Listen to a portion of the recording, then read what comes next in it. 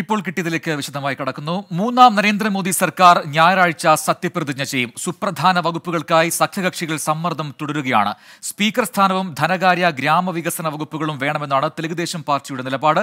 റെയിൽവേയും കൃഷിയും വേണമെന്നാണ് J D യുവിന്റെ ആവശ്യം. എന്നാൽ പ്രധാന വകുപ്പുകളായ ആഭ്യന്തര പ്രതിരോധ ധനകാര്യ വകുപ്പുകൾ വിട്ടുകൊടുക്കില്ലെന്നാണ് ബി ജെ പിയുടെ നിലപാട്. ആർ രാധാകൃഷ്ണൻ നൽകും ഡൽഹിയിൽ നിന്നും ഏറ്റവും പുതിയ അപ്ഡേറ്റുകൾ. ആർക്കെ ഒരു സമവായം ഉണ്ടാക്കിയെടുക്കാനുള്ള ശ്രമങ്ങൾ അത് ഏത് രീതിയിൽ നടക്കുന്നു? ഈ ഘടകകക്ഷികളുടെ നിലപാടിൽ എന്തെങ്കിലും അയവ് വന്നിട്ടുണ്ടോ ഇതിനോടകം? ബി ജെ പി മുന്നോട്ട് വെച്ച ഫോർമുല ആ ഫോർമുലയോട് അത്ര ക്രിയാത്മകമായിട്ട് ഘടകകക്ഷികൾ പ്രതികരിക്കുന്നില്ല എന്നാണ് നമുക്ക് അറിയാനായിട്ട് സാധിക്കുന്നത്.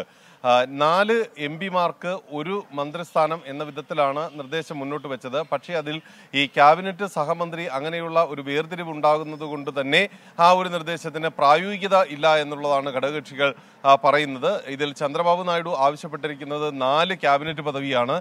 മൂന്ന് ക്യാബിനറ്റ് പദവി കിട്ടിയാലും അദ്ദേഹം ഇക്കാര്യത്തിൽ വിട്ടുവീഴ്ചയ്ക്ക് തയ്യാറാണെന്ന് പറയുന്നു. മൂന്ന് സഹമന്ത്രി പദവും കൂടി ലഭിക്കണം. ഒപ്പം സ്പീക്കർ സ്ഥാനവും തെലുങ്ക് ദേശത്തിന് വേണമെന്ന് അവർ അവകാശപ്പെടുന്നു. ആകെയുള്ള എം പിമാരുടെ എണ്ണം തെലുങ്ക് ദേശത്തിന് പതിനാറാണ്. ജെ ഡി യുവിന് പന്ത്രണ്ട് എം പിമാരാണ് ഉള്ളത്. അവർ ആവശ്യപ്പെടുന്നത് മൂന്ന് ക്യാബിനറ്റ് മന്ത്രി പദവും രണ്ട് സഹമന്ത്രി പദവും ആണ്. അങ്ങനെ നിലവിലുള്ള സാഹചര്യത്തിൽ ബി ജെ പി ഈ വിഷയത്തെ പരിഹരിക്കാൻ ശ്രമിക്കുന്നത് ഒരു ഫോർമുല മുന്നോട്ട് വെച്ചുകൊണ്ടാണ്. അതുമായി ബന്ധപ്പെട്ടുള്ള ചർച്ചകൾ പുരോഗമിക്കുന്നുണ്ട്. പീയൂഷ് ഗോയലിനെയാണ് ഇപ്പോൾ ചന്ദ്രബാബു നായിഡുവിനെ അനുനയിപ്പിക്കാൻ വേണ്ടിയിട്ട് നിയോഗിച്ചിരിക്കുന്നത്. അശ്വിനി വൈഷ്ണവിനെ നിതീഷ് കുമാറിനെ കാണാനായും സംസാരിക്കാനായും നിയോഗിച്ചിരിക്കുന്നു. ഈ കക്ഷികൾ കക്ഷികൾ ആവശ്യപ്പെട്ടിരിക്കുന്ന വകുപ്പുകൾ സംബന്ധിച്ചിട്ടുള്ള വിഷയത്തിലും ബി ജെ പിക്ക് ചില പരാതികളുണ്ട്. അതിൽ ഈ റെയിൽവേ വേണം എന്നുള്ള ആവശ്യത്തിൽ ഉറച്ചു നിൽക്കുകയാണ് നിതീഷ് കുമാർ. മറുവശത്ത് ധനകാര്യ വകുപ്പ് അടക്കമുള്ളവ ലഭിച്ചാൽ ഉചിതമാകും എന്നുള്ള അഭിപ്രായമാണ് ഈ തെലുങ്ക് ദേശത്തിന് ഉള്ളത്. ആ ഒരു സാഹചര്യം നിലനിൽക്കുന്നുണ്ട്. എന്നാൽ പ്രധാനപ്പെട്ട വകുപ്പുകളൊന്നും കൈമാറില്ല എന്ന് ഇതിനകം ബി ജെ പി വ്യക്തമാക്കുന്നു. ബി ജെ പിയെ സംബന്ധിച്ച് നിലവിലുള്ള സാഹചര്യത്തിൽ ഇതിന് മൂന്നാം മോദി ആ, വരവാണ്. അതുകൊണ്ട് വളരെ ശക്തമായിട്ട് ഭരണം മുന്നോട്ട് കൊണ്ടുപോവുക.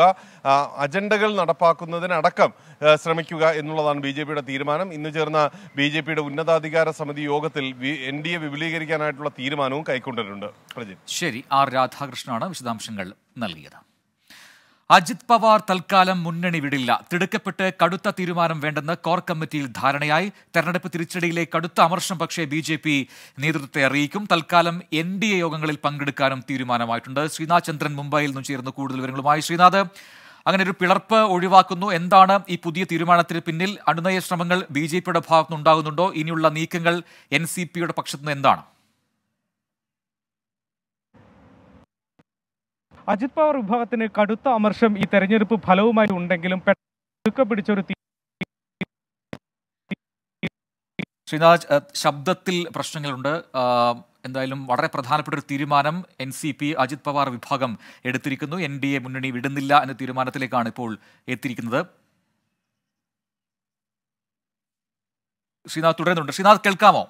തുടരാം.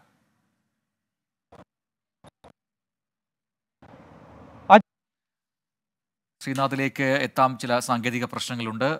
എൻ ഡി എ യോഗങ്ങളിൽ പങ്കെടുക്കും എന്ന തീരുമാനം കൂടി അജിത് പവാർ വിഭാഗത്തിന്റെ ഭാഗത്തുനിന്നും ഉണ്ടായിട്ടുണ്ട്. തെരഞ്ഞെടുപ്പ് തിരിച്ചടി അതിലെ കടുത്ത അതൃപ്തി അമർഷം അതൊക്കെ തന്നെ ബി ജെ പി നേതൃത്വത്തെ അറിയിക്കാനുമുള്ള ധാരണ കോർ കമ്മിറ്റി യോഗത്തിൽ ആയിട്ടുണ്ട്.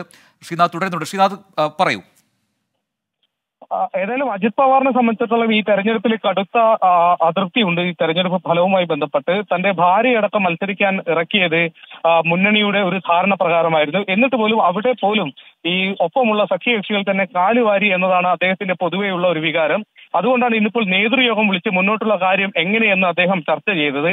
ഏതായാലും ഈ ചർച്ചയിൽ പെട്ടെന്ന് ഒരു തിരുക്ക ഒരു തീരുമാനത്തിലേക്ക് പോകേണ്ട എന്നതാണ് ഒരു പൊതു നിലപാടായി എടുത്തിട്ടുള്ളത്. ഇപ്പോൾ ലഭിക്കുന്ന മന്ത്രിസ്ഥാനത്തിനപ്പുറത്തേക്ക് ഇനി മന്ത്രിസഭാ വികസനം അടക്കം വരാനിരിക്കെ ഇപ്പോഴുണ്ടായ നഷ്ടത്തിന് അതിന്റെ കണക്ക് തീർക്കുന്ന തരത്തിലുള്ള ചില കാര്യങ്ങൾ നേടിയെടുക്കാം എന്നതാണ് ധാരണയായി വന്നിട്ടുള്ളത്. നിയമസഭാ തെരഞ്ഞെടുപ്പ് മുന്നിൽ വരുന്നു നടക്കാൻ മാസങ്ങൾ മാത്രം അകലെയാണ്. കൂടുതൽ സീറ്റുകൾ ഇപ്പോൾ ലോക്സഭയിലേക്ക് കണ്ടതുപോലെയുള്ള ഒരു വിലവേശൽ ഇല്ലാതെ തന്നെ മുന്നണിയിൽ നിന്ന് ലഭിക്കുക. ഒപ്പം ഏറ്റവും അടുത്ത് തന്നെ നടക്കാൻ പോകുന്ന മന്ത്രിസഭാ വികസനത്തിൽ കൂടുതൽ മന്ത്രിസ്ഥാനവും മറ്റു മുന്നണിയിൽ ആവശ്യപ്പെടുക എന്നതാണ്. അതായത് പാർട്ടിയിൽ ഇനി മുന്നോട്ടും ഇതേ രീതിയിൽ അവഗണന ലഭിക്കുകയാണെങ്കിൽ മാത്രം ഒരു കടുത്ത തീരുമാനത്തിലേക്ക് പോയാൽ മതി എന്നതാണ് ഇപ്പോൾ അജിത് പവാർ വിഭാഗം എടുത്തിരിക്കുന്ന ഒരു നയം. ഇപ്പോൾ എം എൽ എമാരുടെ യോഗം വൈകിട്ട് വിളിച്ച് ഈ കാര്യം അദ്ദേഹം വിശദീകരിക്കുകയും ചെയ്യും. എം എൽ എമാരിൽ ചിലരെ ആ ശരത് പവാർ വിഭാഗം ബന്ധപ്പെടുന്നുണ്ടെന്നും ചിലർ അങ്ങോട്ട് പോയേക്കും എന്നുള്ള പ്രചാരണത്തെയൊക്കെ തന്നെ അജിത് പവാർ വിഭാഗം ഇപ്പോൾ തള്ളുകയാണ്. അത്തരത്തിലുള്ള ഒരു ചർച്ചയും ഒരു നീക്കങ്ങളും തന്റെ എം എൽ എമാർ നടത്തുന്നില്ല എന്നതാണ് അജിത് പവാർ വിഭാഗം പറയുന്നത് സുനിൽ തക്കരെ പാർട്ടിയുടെ സംസ്ഥാന അധ്യക്ഷൻ കൂടിയ സുനിൽ തക്കരെ ഇക്കാര്യങ്ങൾ വിശദീകരിച്ചു. ഏതായാലും തൽക്കാലം ഒരു പൊട്ടിത്തെറിയിലേക്ക് കാര്യങ്ങൾ കൊണ്ടുപോകേണ്ട എൻ ഡി എ യോഗത്തിനായി ദില്ലിയിലേക്ക് പോകാം എന്നതാണ് നേതൃയോഗത്തിൽ എടുത്തിരിക്കുന്ന ഒരു ധാരണ. ശ്രീനാഥ് ചന്ദ്രനാണ് മുംബൈയിൽ നിന്ന് വിശദാംശങ്ങൾ നൽകിയത്. മറ്റൊരു വാർത്തയിലേക്ക്. ബോട്ടിന്റെ എഞ്ചിൻ തകരാറിനെ തുടർന്ന് കോഴിക്കോട് കടലിൽ കുടുങ്ങിയ അഞ്ച് മത്സ്യത്തൊഴിലാളികളെ രക്ഷിച്ചു. പുതിയാപ്പ ഹാർബറിൽ നിന്ന് രാവിലെ മീൻ പിടിക്കാൻ പോയ ബോട്ടാണ് കടലിൽ കുടുങ്ങിയത്. അഭിജിത്ത് മുഴക്കുന്നു നൽകും കോഴിക്കോട് നിന്നും വിശദാംശങ്ങൾ. അഭി ഈ മത്സ്യത്തൊഴിലാളികളെ തിരികെ കരയിലേക്ക് എത്തിച്ചോ? എന്താണ് നമുക്ക് ലഭിക്കുന്ന വിഭവങ്ങൾ? ഈ വിവരങ്ങൾ എന്താണ് യഥാർത്ഥത്തിൽ സംഭവിച്ചത്? പ്രജിൻ ഇന്ന് രാവിലെയാണ് പുതിയാപ്പ ഹാർബറിൽ നിന്ന് മത്സ്യത്തൊഴിലാളികൾ മത്സ്യബന്ധനത്തിനായി കടലിലേക്ക് പോകുന്നത്. കൊയിലാണ്ടി ഭാഗത്ത് നിന്ന് ഏതാണ്ട് ഒൻപത് നോട്ടിക്കൽ മൈൽ അകലെ വെച്ച് ഇവരുടെ ഈ ബോട്ടിന്റെ എഞ്ചിൻ തകരാറിലാവുകയായിരുന്നു. ഉടനെ തന്നെ അവർ മറൈൻ എൻഫോഴ്സ്മെന്റിനെ വിവരം അറിയിച്ചു. തുടർന്ന് മറൈൻ എൻഫോഴ്സ്മെന്റിന്റെ നേതൃത്വത്തിലുള്ള ഒരു ടീം ഈ ഒരു ഭാഗത്തേക്ക് പുറപ്പെടുകയും ഈ മത്സ്യത്തൊഴിലാളികളെ രക്ഷപ്പെടുത്തുകയുമായിരുന്നു. അഞ്ച് മത്സ്യത്തൊഴിലാളികളാണ് ഈ ബോട്ടിൽ ഉണ്ടായിരുന്നത്. ഈ അഞ്ചു പേരെയും രക്ഷപ്പെടുത്താൻ നിലവിൽ മറൈൻ എൻഫോഴ്സ്മെന്റിന് സാധിച്ചിട്ടുണ്ട്. ഒപ്പം തന്നെ ഈ വള്ളവും മത്സ്യത്തൊഴിലാളികളെയും നിലവിൽ പുതിയാപ്പ ഹാർബറിലേക്ക് മാറ്റുകയും ചെയ്തിട്ടുണ്ട്. പ്രജിൻ ശരി അഭിജിത് മുഴക്കുന്നാണ് കോഴിക്കോട് വിശദാംശങ്ങൾ നൽകിയത്. സംസ്ഥാനത്തെ മഴ മുന്നറിയിപ്പിൽ മാറ്റം വന്നിരിക്കുന്നു. മലപ്പുറം വയനാട് ജില്ലകളിൽ ഓറഞ്ച് അലർട്ട് പ്രഖ്യാപിച്ചു. എട്ട് ജില്ലകളിൽ യെല്ലോ അലർട്ടുണ്ട് എ വി ജയശങ്കർ നൽകും തിരുവനന്തപുരത്ത് നിന്നും അതിന്റെ വിശദാംശങ്ങൾ. ജയശങ്കർ പറയൂ എന്താണ് പുതിയ പ്രവചനങ്ങൾ? വിവരങ്ങൾ. അതായത് സംസ്ഥാനത്ത് വരുന്ന ദിവസങ്ങളിലും അതിശക്തമായ മഴ തുടരുമെന്നാണ് കേന്ദ്ര കാലാവസ്ഥാ വകുപ്പിന്റെ നിലവിലെ പ്രവചനം. അതിന്റെ ഭാഗമായി രണ്ട് ജില്ലകളിൽ ഇന്ന് ഓറഞ്ച് അലേർട്ട് പ്രഖ്യാപിച്ചു. മലപ്പുറം വയനാട് ജില്ലകളിലാണ് ഓറഞ്ച് അലേർട്ട് ഉള്ളത്. ഒപ്പം തന്നെ എട്ട് ജില്ലകളിൽ യെല്ലോ അലേർട്ട് ഉണ്ട്. ആലപ്പുഴ എറണാകുളം ഇടുക്കി തൃശൂർ പാലക്കാട് കോഴിക്കോട് കണ്ണൂർ കാസർഗോഡ് ജില്ലകളിലാണ് ഇത്തരത്തിൽ യെല്ലോ അലേർട്ട് പ്രഖ്യാപിച്ചിരിക്കുന്നു. ഒപ്പം തന്നെ കേരള തീരത്തും ലക്ഷദ്വീപ് തീരത്തും മത്സ്യബന്ധനത്തിന് നിരോധനം ഏർപ്പെടുത്തിയിട്ടുണ്ട്. കാരണം ഉയർന്ന തിരമാലയ്ക്കും മറ്റും സാധ്യതയുള്ളതിനാൽ കടലിൽ വലിയ തോതിലുള്ള കാറ്റിനും സാധ്യതയുണ്ട്. ഇതിനാൽ തന്നെ കേരള ലക്ഷദ്വീപ് തീരത്ത് മത്സ്യബന്ധനത്തിനും നിലവിൽ നിരോധനം ഏർപ്പെടുത്തിയിട്ടുണ്ട്. എന്തായാലും വരും ദിവസങ്ങളിലും മധ്യ കേരളത്തിലും വടക്കൻ കേരളത്തിലും ഉൾപ്പെടെ ശക്തമായ തോതിലുള്ള മഴ ലഭിക്കുമെന്നാണ് കേന്ദ്ര കാലാവസ്ഥാ വകുപ്പിന്റെ മുന്നറിയിപ്പ്. ഈ ഒരു മുന്നറിയിപ്പുകളുടെ പശ്ചാത്തലത്തിൽ അടിയന്തര നടപടികൾ സ്വീകരിക്കാൻ മുഴുവൻ ജില്ലാ കളക്ടർമാർക്കും ദുരന്ത നിവാരണ അതോറിറ്റി പ്രത്യേക മാർഗനിർദ്ദേശം പുറപ്പെടുവിച്ചിട്ടുണ്ട്. കാരണം ഈ മഴ വരുന്ന ഒരു ഘട്ടത്തിൽ കൃത്യമായി ക്യാമ്പുകൾ ക്രമീകരിക്കുന്ന കാര്യവും ഒപ്പം ഈ മുന്നറിയിപ്പ് അനുസരിച്ച് കൊണ്ടുള്ള ആളുകളെ അപകട മേഖലയിൽ നിന്ന് മാറ്റി താമസിക്കുന്ന കാര്യത്തിൽ ഉൾപ്പെടെ കളക്ടർമാർ ജാഗ്രത പുലർത്തണം. ജില്ലാ ദുരന്ത നിവാരണ അതോറിറ്റിയുടെ ചെയർമാൻമാർ എന്ന നിലയിലാണ് ഇത്തരത്തിൽ പ്രത്യേക മാർഗ- മാർഗനിർദ്ദേശം സംസ്ഥാന ദുരന്ത നിവാരണ അതോറിറ്റി ജില്ലാ കളക്ടർമാർക്ക് നൽകിയിരിക്കുന്നത്. എന്തായാലും സംസ്ഥാനത്ത് വരും ദിവസങ്ങളിലും അതിശക്തമായ മഴ തുടരുമെന്നാണ് കേന്ദ്ര കാലാവസ്ഥാ വകുപ്പിന്റെ മുന്നറിയിപ്പ്. എ വിജയശങ്കറാണ് വിശദാംശങ്ങൾ നൽകിയത്. കർണാടക മന്ത്രിസഭയിലെ ആദിവാസി ക്ഷേമ വകുപ്പ് മന്ത്രി ബി നാഗേന്ദ്ര രാജിവെച്ചു. വാത്മീ വികസന കോർപ്പറേഷനിലെ സാമ്പത്തിക ക്രമക്കേട് ആരോപണത്തിലാണ് രാജി. എൺപത്തി അഞ്ച് കോടിയിലധികം രൂപയുടെ ക്രമക്കേട് നടന്നുവെന്നാണ് കണ്ടെത്തൽ. കേസിൽ നടപടി നേരിട്ട ഉദ്യോഗസ്ഥൻ നേരത്തെ ആത്മഹത്യ ചെയ്തിരുന്നു. അരുൺ പൂപ്പറമ്പ് നൽകും ബംഗളൂരുവിൽ നിന്നും കൂടുതൽ വിശദാംശങ്ങൾ. അരുൺ വിവരങ്ങൾ.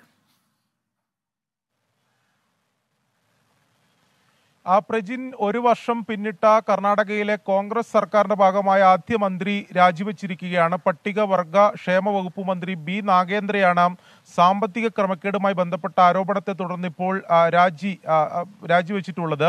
രാജിക്കത്ത് മുഖ്യമന്ത്രി സിദ്ധരാമയ്യക്ക് കൈമാറിയിട്ടുണ്ട്. എന്നാൽ രാജി മുഖ്യമന്ത്രി ഇതുവരെ സ്വീകരിച്ചിട്ടില്ല.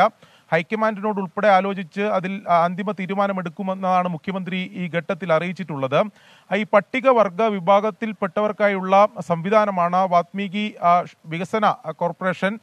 ഇതിന്റെ ഭാഗമായിട്ടുള്ള ഫണ്ട് മറ്റ് സ്വകാര്യ വ്യക്തികളുടെയും മറ്റ് ചില സ്വകാര്യ സ്ഥാപനങ്ങളുടെ അക്കൗണ്ടിലേക്കും വകമാറ്റി നിക്ഷേപിച്ചു എന്നതാണ് ആരോപണം നേരിട്ടത്. അതായത് ബംഗളൂരുവിലെ എം റോഡിൽ എം റോഡിലെ യൂണിയൻ ബാങ്കിൽ നിന്ന് യൂണിയൻ ബാങ്കിലെ അക്കൗണ്ടിൽ നിന്ന് എൺപത്തി അഞ്ച് കോടിയിലധികം രൂപ മറ്റ് സ്വകാര്യ വ്യക്തികളുടെയും മറ്റ് ചില സ്ഥാപനങ്ങളിലേക്കും അക്കൗണ്ടിലേക്ക് അയച്ചു എന്നതാണ് കണ്ടതിൽ ആദ്യത്തിൽ ആദ്യത്തിൽ ഇതിൽ വകുപ്പ് തല അന്വേഷണം നടന്നു. ആ വകുപ്പ് തല അന്വേഷണത്തെ തുടർന്ന് അക്കൗണ്ടന്റ് സൂപ്രണ്ട് ഉൾപ്പെടെ മൂന്ന് ഉദ്യോഗസ്ഥരെ സസ്പെൻഡ് ചെയ്തിരുന്നു.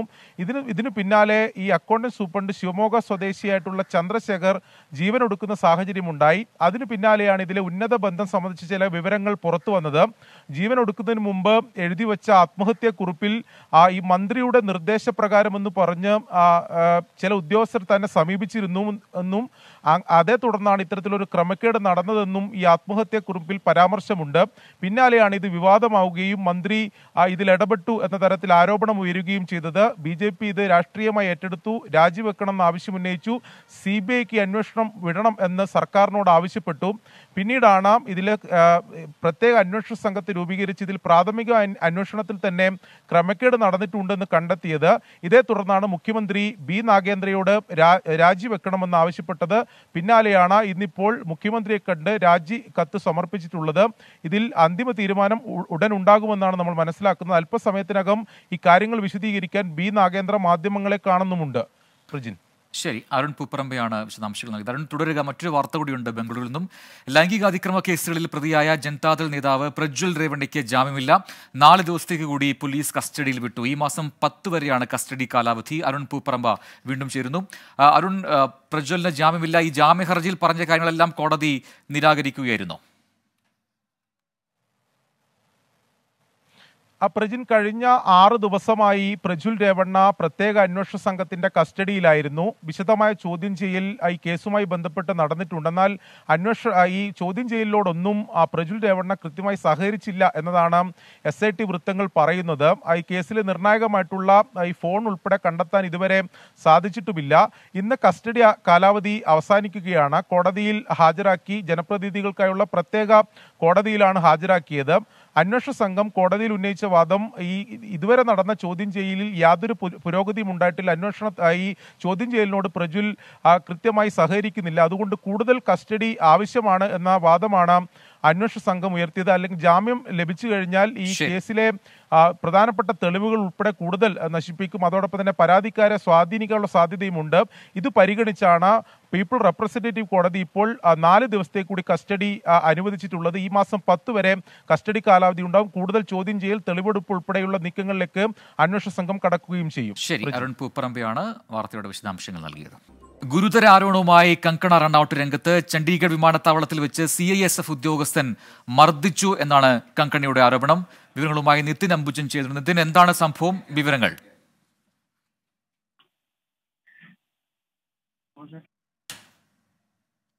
കുൽബീന്ദർ കൗർ എന്ന സി എസ് എഫ് ഉദ്യോഗസ്ഥയാണ്. തന്നെ മർദ്ദിച്ചത് ഇപ്പോൾ കങ്കണ റാവട്ട് ഒരു ആരോപണം ഉന്നയിച്ചിരിക്കുന്നത്. ചണ്ഡീഗഡ് എയർപോർട്ടിൽ വെച്ചിരുന്ന സംഭവം ഇന്ന് വൈകിട്ട് മൂന്നരയോടുകൂടി ചണ്ഡീഗഡിൽ നിന്ന് ഡൽഹിയിലേക്കുള്ള വഴിയിലാണ് ഡൽഹിയിലേക്ക് പുറപ്പെടാനിരിക്കെ ചണ്ഡീഗഡ് എയർപോർട്ടിലെത്തിയ കങ്കണ റാണൌട്ടിന്റെ സുരക്ഷാ ഉദ്യോഗസ്ഥ ഈ സുരക്ഷാ പരിശോധനയെല്ലാം തന്നെ കഴിഞ്ഞ് പോകുന്നതിനിടയിലാണ് ഇത്തരം ഒരു സംഭവം എന്ന് മനസ്സിലാക്കുന്നു അത്തരം ചില ദൃശ്യങ്ങൾ ഇപ്പോൾ പുറത്തു വന്നിട്ടുണ്ട്. സി എസ് എഫ് ഉദ്യോഗസ്ഥയുമായി തർക്കിക്കുന്ന ദൃശ്യമാണ് ഇപ്പോൾ പുറത്തു വന്നിരിക്കുന്നത്. സ്വാഭാവികമായിട്ടും ഇതുമായി ബന്ധപ്പെട്ട് സി എസ് എഫ് ഇതുവരെ ഔദ്യമായി തന്നെ ഒരു പ്രതികരണവും നടത്തിയിട്ടില്ല. അതേസമയം തന്നെ എന്താണ് സംഭവത്തിന്റെ കൂടുതൽ വിശദാംശങ്ങളൊന്നും തന്നെ പുറത്തു വന്നിട്ടില്ല. നമുക്ക് ലഭ്യമായ ഒരു പ്രകാരം കർഷക പ്രക്ഷോഭവുമായി ബന്ധപ്പെട്ട് കങ്കണറോട് നടത്തിയ പ്രസ്താവന അതിലെതിരെ ഒരു പ്രതിഷേധം എന്ന നിലയിൽ തന്നെയാണ് ഈ സി എസ് എഫ് ഉദ്യോഗസ്ഥ കങ്കനോട്ടിനെ മർദ്ദിച്ചതായിട്ട് ഇപ്പോൾ ചില റിപ്പോർട്ടുകൾ പുറത്തു വരുന്നത്. എന്തായാലും ഇതുമായി ബന്ധപ്പെട്ട് ഔദ്യോഗിക സ്ഥിരീകരണം ഇതുവരെ ഉണ്ടായിട്ടില്ല. ശരി നിത്യൻ അമ്പുജനാണ് വാർത്തയുടെ വിശദാംശങ്ങൾ നൽകിയത്. തന്നെ മർദ്ദിച്ചു ഒരു സി എസ് ഉദ്യോഗസ്ഥ എന്നാണ് ഇപ്പോൾ കങ്കണ റണോത്തിന്റെ ആരോപണം ഉയർന്നിരിക്കുന്നത്. ഇനി ഇപ്പോഴത്തെ കാലാവസ്ഥ. ഇപ്പോഴത്തെ കാലാവസ്ഥ. സമർപ്പിക്കുന്നത് Berger paints hundred years of trust.